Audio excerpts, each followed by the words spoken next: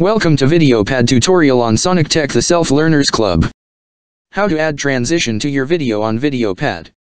A transition gradually hides a video track clip as it reaches its end, transition out, and optionally gradually shows the clip that immediately follows, transition in.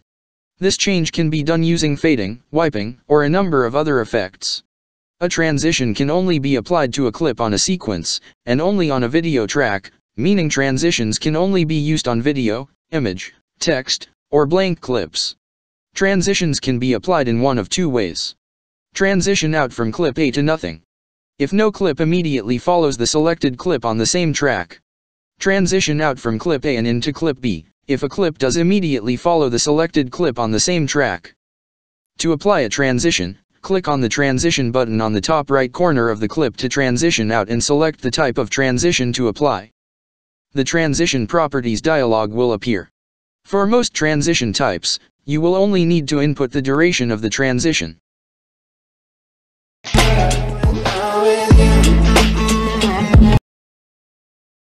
After a transition has been added, do one of the following to modify the duration of the transition.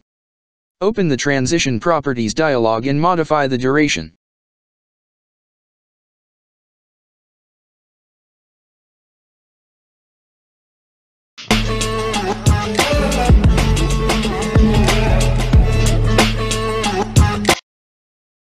Or stretch the bar around the transition button.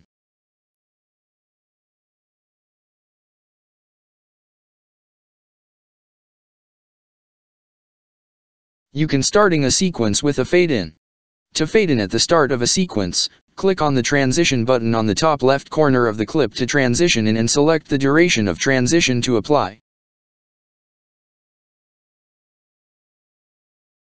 And you can ending a sequence with a fade out.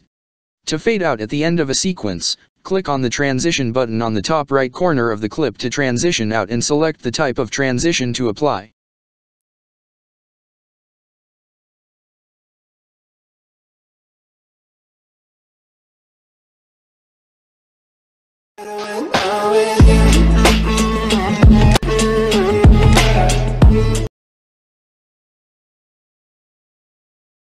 After adjusting the fade in and out, you can change its duration by stretching the tape around the fade in and fade out button.